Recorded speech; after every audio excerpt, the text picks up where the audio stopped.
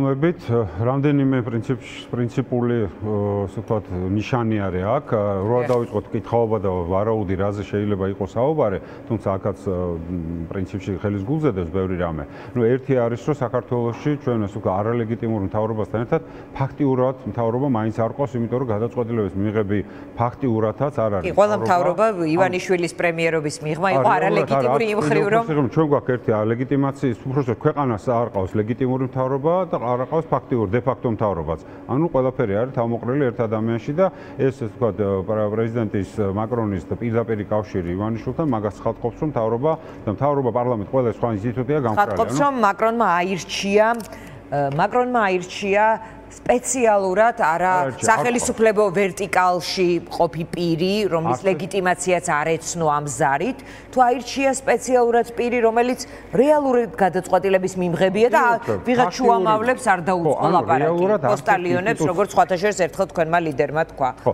არც ერთი ინსტიტუცია არ აქვს. მაგაზეა საუბარი. ეხლა მან როგორ აირჩია და რა პრინციპით გააკეთა ეს ცალკე თემაა, მაგრამ რეალურად არის ჩვენ არ გვაქვს არც საპარლამენტო ხელმძღვანელობა ყავს ქვეყანაში, არც სამთავრობო ხელმძღვანელობა ყავს და ჩვენ არ გვაქვს არც ერთი ინსტიტუტი გარდა პრეზიდენტისა, ბუნებრივია ამ შემთხვევაში პრეზიდენტ საქართველოს პრეზიდენტთან ამ ეს თემა საუბრის ბუნებრივია მას არ ეხებოდა, შესაბამისად დარეკა პირდაპირ ივანიშვილთან, რაც აჩვენებს რომ ძალიანად ეროზირებულია ქართული სახელმწიფო სტრუქტურები. ეს ერთი. მეორე არის რომ ეს პრინციპში აჩვენებს იმას, რაც აი ბოლო განსაკუთრებით ორი კვირის განმავლობაში ხდება, რომ აი სამოქალაქო საზოგადო პროტესტებმა მიაღწია თავის შედეგს, ნიშნულოვან შედეგს, რეალურად შედგა ის, რომ არსებული პარლამენტი, არსებული თავრობა არალეგიტიმურად იქნა, ანუ ლეგიტიმურად არ იქნა აღიარებული არც ერთი, ასე ვთქვათ, პოლიტიკა, ასე ვთქვათ, არც ერთი ქვეყნის ხელმძღვანელობის მიერ და შესაბამისად არალეგიტიმურობა შედგა და ქვეყანა შევიდა საკმაოდ მწვავე კრიზისში. არალეგიტიმური ხელისუფლებასთან დაკავშირებულ კაცს თხოვენ ინკლუზიურ დიალოგს პარტიებთან და კი, კი, ეს არის, ეს არ არის უკვე ინსტიტუციებთან საუბარი, ეს არ არის დიპლომატიური, ეს არის საუბარი რეალურად, ასე ვთქვათ, რეალურად კრიზისიდან გამოსავლის ძიებაში და ამ კრიზისის გამოსავალი მხოლოდ ერთხელშია. არ არის ესეთი ამ კრიზისიდან გამოსავალი არც საპარლამენტო ხელმძღვანელობის ხელში, არც მთავრობის ხელში, არც საზოგადოების, რომელიც ქუჩაში დგას, იმიტომ რომ მათ უკან დასახევი არ აქვს, დასათმობიც არაფერი არ აქვს. ისინი არ თმობ მათ ისინი არ ითხოვენ რაღაცა განსაკუთრებულ პრივილეგიებს, ისინი ითხოვენ ქვეყნის დაბრუნებას დემოკრატიულ და საკონსტიტუციო ჩარჩოში და დაბრუნებას ევროპული ინტეგრაციის მიმართულებით. შესაბამისად, აქ ერთადერთი ვისაც აქვს გასაღები ამ კრიზისიდან ქვეყნის გამოყვანის და სახელმწიფოს გამოყვანისთვისაც არის ბიძინა ივანიშვილი. მასთან არის კომუნიკაცია, ხა სავარაუდოდ ჩვენ შეგვიძლია ვივარაუდოთ, რომ შეიძლება იყოს შეთავაზებები, შეიძლება იყოს მედიაციის რაღაც გარკვეული საკითხები, რომელზეც შეიძლება დაისვას შემდგომში, თუმცა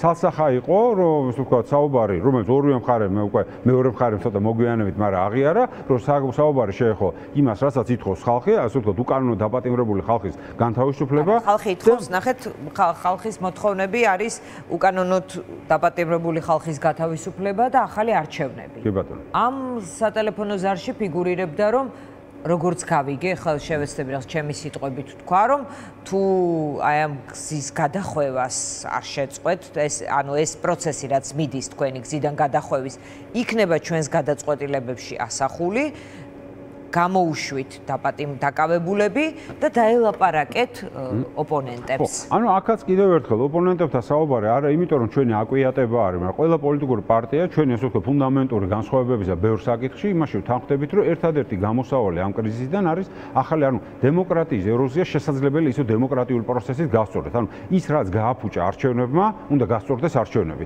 ოღონდ ეს არჩევნები უნდა იყოს დემოკრატიული და არა ისეთი როგორც იყო, ხო?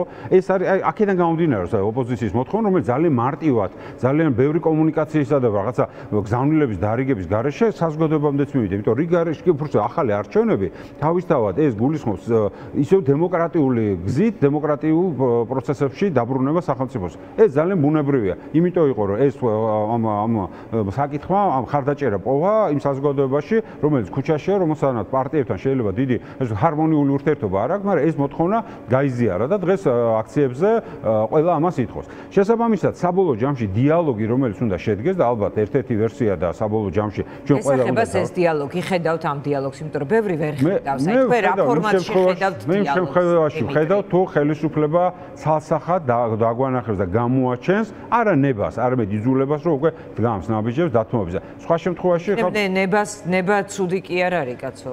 ნება არ მგვარდება ნება ჯობია მაგრამ რო არა აქვს ნება ვისაც ქონდა რო ქონოდათ აქამდე უფრო ბევრად უფრო კარგად შეეძლო თავისი ქვეყნის და თავისი პოლიტიკური ასე ვთქვათ ბედიც უფრო უკეთესად წაიყვანოს. მაგრამ სამწუხაროდ აი აქამდე მიიყვანეს. საკმაოდ დიდი ზარალით ქვეყნისთვის მე ვიტყოდი ძალიან დაგვაზარალეს. ბევრი მიმართულებით სარეიტინგო მიმართულებით გაგაბუზებ რეპუტაციულად დაზიანებულია სტრატეგიული მიმართულებები და სტრატეგიული თანამშრომლობა არის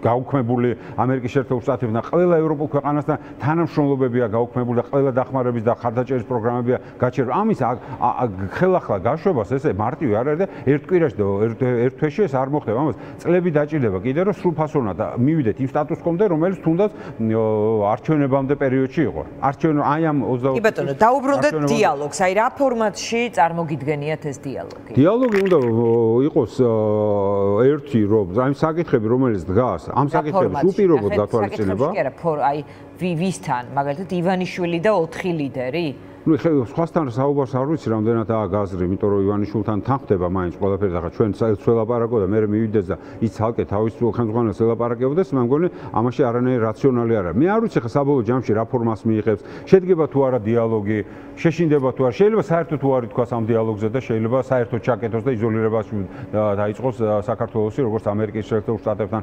ურთიერთობაში, ისე საფრანგეთთან და მთლიანად ევროპაში. მე არ ვიცი და მე არ ვიცი მაკრონთან სატელეფონო საუბრის შემდეგ ასევე განს განცხადებაში წერია რომ კიდევ შეთანხმდნენ რომ დაუბრუნდებიან ერთმანეთთან კომუნიკაციას დატოვა თუ არა ამან შტაბეჭდილება რომ რაღაც შეიძლება მოხდეს იმ ლუფტში რომელიც აი იქნება პირველსა და მეორე ზარს შორის. მე არ ვიცი ახლა რომ კიდევ დეტალები არ ვიცით უბრალოდ ჩვენ ამ ზარის ესე თქვა საჯარო ინფორმაცია რაც არის იქიდან გამომდინარე ვაკეთებ. განცხადება რომ და შეიძლება რაღაც ტიპის განცხადებები ნუ პირველი გოცნების განცხადება ძალიან არაფრის თქვენი იყო ანუ პრეზიდენტის ადმინისტრაციის განცხადება საფრანგეთიდან და მე უკვე შეპასუხება ქართული ოცნების. აი ეს ჩვენ გვაჩვენებს, რომ რეალურად მას მიცეს შანსი, რომ დიალოგის პროცესში ნორმალიზება მოახდინონ ქვეყნის და ამაში დახმარება ძალიან მაღალი დონის პოლიტიკოსმა გადაწყვიტა, კონკრეტულად ერთ-ერთი ყველაზე გავლენიანი ქვეყნის პრეზიდენტმა, რომელიც ევროკავშირის ევროკავშირის ერთ-ერთი ყველაზე ავტორიტეტული ძლიერი და საფრანგეთი, ხო, ასე ვთქვა, თავისთავად მუდმივად ძალიან ძლიერი და გავლენიანი სახელმწიფო, რომელსაც ძალიან მნიშვნელოვანი როლი აქვს შესრულებული კრიტიკულ სიტუაციებში. ანუ მას შეთავაზეს თავიანთი პლატფორმა იმისთვის, რომ ისაუბროს, რამდენად ივანიშვილი ამაზე დათანხმდება, რამდენად ის ზათ არის ზოგადად ქვეყანა დააბრუნოს ნორმალურ განვითარებაში და თუ მას ბოლომდე სული არ აქვს მიყიდული რუსებისთვის, მაშინ შესაბამისად მან უნდა გადადგას კონკრეტული ნაბიჯები. რამდენ რამდენად გადადგამს, ეს ჩვენ გვაჩვენა. მე ესე მარტივად ესე ვაყენებ. ანის ღალატობს სამშობლოს, ანის ღალატობს რუსეთს. ესე დგას საკითხი. და მას მიცა საშუალება, რომ არ უღალატოს სამშობლოს. ოპოზიციასთან თუ არ აქვს დიალოგი, აგერ მედიაცია კონკრეტული საფრანგეთის პრეზიდენტის მეშვეობით ისე უნდა რომ არ უღალატოს შენ ქვეყანას და ამაში ჩვენ მოგეხმარებით. არ გაწირო შენი ქვეყანა რუსეთის ბატონობისთვის და სიღრმისეული კრიზისისთვის, რომელშიც ჩვენ ვართ. მას შეიძლება ეშინოდეს უფრო მეტად რუსების და ანუ არ უღალატოს რუსებს, იმიტომ რუსეთიდან ფაქტია, რომ დღეს გამოძახილები არის ისეთი, რომ თალსახად მოწონთ ამ ხელისუფლების ქმედებები და ეს არ არის უბრალოდ შეფასებები, ეს არის კონკრეტული ეს ვთქვათ სინქრონული დაკავებულების გამოშვებამდე დავა ეს პროცესი, ეს მისთვის ძალიან უმტკივნეულო ამბავი იქნება, ეს ასეა თუ არა. ანუ ამას სიამოვნებით გააკეთებს თუ ეს მოლაპარაკების პროცესში, ეს ვთქვათ ამ კომუნიკაციაში პარტნიორებთან ეს იქნება იქნება რაღაც თავარი საკვანძო მოთხოვნა. ის იმისთვისაც აკავებს ხოლმე ხალხს რომ შემდეგ არა მაგისთვის არ აკავებს გაუშვას ხოლმე. ჩვენ შესაშინებლად და იმიტომ არა 500 ადამიანია დაკავებული და არა 2 და 3 არამედ 500 ადამიანია ეს რეიდები ეს ცემები და ეს იმიტომ რომ ადამიანებში შიში გააჩინოს. ეს შესაძლებელია მან სადოს რო ეს გამოიყენოს როგორც ასე ვთქვათ სავაჭროთ რო აი მე ამათ გამოუშვებ და ამით შეთანხმდეთ მაგრამ ნუ ფაქტია რომ კიდევ ერთხელ დემოკრატიული ასე ვთქვათ სისტემიდან ამოვარდნა შესაძლებელია ისო დემოკრატიული ინსტიტუციის მეშვეობით. ანუ თუ ჩვენ გაყალბების შედეგად მივედით აქამდე სადაც მივედით, ერთადერთი გამოსავალი აქედან არის დაუბრუნდეთ დემოკრატიული არჩევნების გზით დემოკრატიულ ფარგლებში და კონსტიტუციურ ფარგლებში. ამის იქით მოთხოვნას ესე ყველა დანარჩენი იქნება სავაჭრობა. ადამიანების გამოშვება ეს არის უპირობა, სანამ ჩვენ შევალთ მოლაპარაკებებში, ეს არის პირობა, იმისთვის რომ ჩვენ შევიდეთ მოლაპარაკებებში, ადამიანები, რომელიც სულ ყველაზე ან ციხეში უნდა განთავისუფლდნენ, ზოგ სისხლის სამართლის საქმე რო ეს უნდა შეწყდეს და ამის სამართლებრივი მექანიზმებიც აქვს. განრიდება შეუძლია გააკეთოს პროკურატურა ერთ დღეში და ერთ საათში შეწყდება ყველაფერი. და მეორე ხელ გამოუშვეს ის ადამიანები რომელიც ადმინისტრაციული ადმინისტრაციული გუთხით არიან დაპატიმრებული. ეს არის წინაპირობა უნდა იყოს საუბრს. ყველაფერი დანარჩენი არის ის, რასაც ითხოვს ზოგადად საზოგადოება, ითხოვს ოპოზიცია, ჩვენი პარტია და ყველა სხვა პოლიტიკური გაერთიანება, ეს არის ახალი არჩევნები, ესე იგი პოლიტიკურად დაბალანსებული ცენტრალური საარჩევნო კომისიით, იმიტომ რომ არ შეიძლება ერთი პარტია იყოს და ვითომ და ნეიტრალური ხალხით იყოს დაკომპლექტებული და ის ყველა ნეიტრალური მე საბოლოო ჯამში არის ან სუსის ან თვითონ პარტიის მე კონტროლებადი ადამიანები და მეორე მხრივ უნდა იყოს ის ძალოვანი სტრუქტურა, რომელიც არალეგალურად და არაფორმალურად ერეოდნენ პრაქტიკულად წარმართავდნენ წინასაარჩევნო კამპანიისგან მთლიანად წინასაარჩევნო პროცესს და უზრუნველყოფდნენ ასე ვთქვათ ხმების გაყალბებას, ესადი უნდა განთავისუფლდნენ პოლიტიკური გავლენებისგან. აქაც არის ძალიან მნიშვნელოვანი ინკლუზიურად მოხდეს ასეთი ადამიანების გადანიშნა ხელმძღვანელ პირებზე, იმის რომელიც უზრუნველყოფს დემოკრატიული არჩევნების ჩატარებას. პოლიცია არათუ არ უნდა აყალბებდეს, ის უნდა იცავდეს დემოკრატიული არჩევნების გარემოს. და ჩვენ დავინახეთ აბსოლუტურად საპირისპირო. სუსი, რომელიც ქვეყნის უსაფრთხოებას უნდა უზრუნველყოფდეს, ის მუშაობდა პრაქტიკულად იმაზე, რომ ქვეყნის ესე ვთქვათ სტრატეგიული ინტერესების ღალატს აფორმებდა. ანუ ესეთ ვითარებაში, რა თქმა უნდა, ამ სუსის, ამ შესაძლებლობი და ამ CSKT არანაირი საარჩევნო გარემოს საუბარი არ არის. ჩვენ პრინციპში არც ერთი ჩვენ ჩვენი პარტია თავად არ გონია რომელიმე პარტია ითხოვს რომ მაინამაინც მისი წარმომადგენელი იყოს ერთი მეორე ან მესამე სააგენტო ვთქვათ უწყების ხელმძღვანელი აქ არის საუბარი იმაზე რომ უნდა მოხდეს ისეთი ვთქვათ ცვლილებები რომელიც უზრუნველყოფს ეს ყველაფერი ნეიტრალ განეიტრალდეს პოლიტიკური გავლენებიდან რომ ის ადამიანები არ იმსახურებოდნენ პარტიას და პარტიის ოფისში არ დადიოდნენ ყოველდღიურად მათ შორის ცენტრალური საარჩევნო კომისიის წევრები რომელიც პარტიულ ოფისებში დადიან და იქ იღებენ ინსტრუქციებს. ეს რო არ მოხდეს ამაში ეს დაგვაბრუნებს ავტომატურად დემოკრატიულ განვითარებას აი კიდევ ერთხელ კიდევ ერთხელ რეზიუმეს სახით რომ თქვათ, როგორ აი ამ ზარს რომ მოუწყდეთ არსებული ვითარებიდან გამოსავალი ახლა რაშია? არსებული ვითარებიდან გამოსავალი არის ქართული ოცნების გადააზრებაში, რომ ისინი არიან ჩიხში, აქედან გამოსავალი არის მხოლოდ დათმობითი. ეს არის გამოსავალი. დათმობების სხვადასხვა ამპლიტუდა არსებობს, აი ეს თქვათ, ქუჩაში მყოფი ადამიანების მხრიდან, ხელისუფლების მხრიდან სხვადასხვა რამ არის შეიძლება. მე ვფიქრობ, რომ თუ ეს დათმობა გამოჩნდა რეალურად, ჩვენ დავინახეთ, რომ რეალურად მე ჩვენ მივდივართ ახალი არჩევნების დანიშნულება და მე ვფიქრობ, რომ საზოგადოებრივი განწყობები მნიშვნელოვნად ამას დაუჭერს ხარს. ჩვენ გვჭირდება და ეს ხალხი ცალსახად, მე ესეთი მართლა ძალიან ბევრ ქვეყანაში ვარ ნავყოფი და სხვადასხვა აქციებზეც კი ვარ ნავყოფი სხვადასხვა ქვეყანაში. ესეთი მშვიდობიანი და ესეთი თანმიმდევრული აქციები ფაქტები მე არ მახსოვს არც ერთ ქვეყანაში მართალი გითხრა ძალიან თანმიმდევრულია ქართულსაც ძალიან გაზრდილია მაქრო და ისინი ძალიან მარტივ და ასე ვთქვათ ფუნდამენტურ რაღაცას ითხოვენ დემოკრატიულ ჩარჩოებში დაბრუნდეს ქვეყანა დემოკრატიული გზით. არა იმით, რომ ყველა გადადგეს, ყველა წავლეკო და ჩვენ ვიზამ ყველა. წარმოიდგინეთ, დემოკრატიულ დემოკრატიული გზით, ანუ ახალი არჩევნების ჩატარების გზით. ამაში განსაკუთრებული არაფერი არ კიდევ ერთხელ ეს არ არის სავაჭრო შეთავაზ წარმოქმნილი მაღალი სტანდარტი, ეს არის ის, რაც მინიმალურია იმისთვის, რომ ჩვენ დაუბრუნდეთ ნორმალურ განვითარების პროცესში. ქართული ოცნება ადრე თუ გვიან, ახლა დღეს როგორც ჩანს, რახან ესაუბრა, ჩვენ გახსოვს ხო, ივანიშვილი არავის არ ელაპარაკებოდა რაღაც პერიოდი. უარს ამბობდა. დღეს როგორც ჩანს, მიხვდა რომ უკვე საუბარი აუცილებელია იმისთვის, რომ რაღაცა სიტუაციიდან გამოსავალ უნდა ნახოს.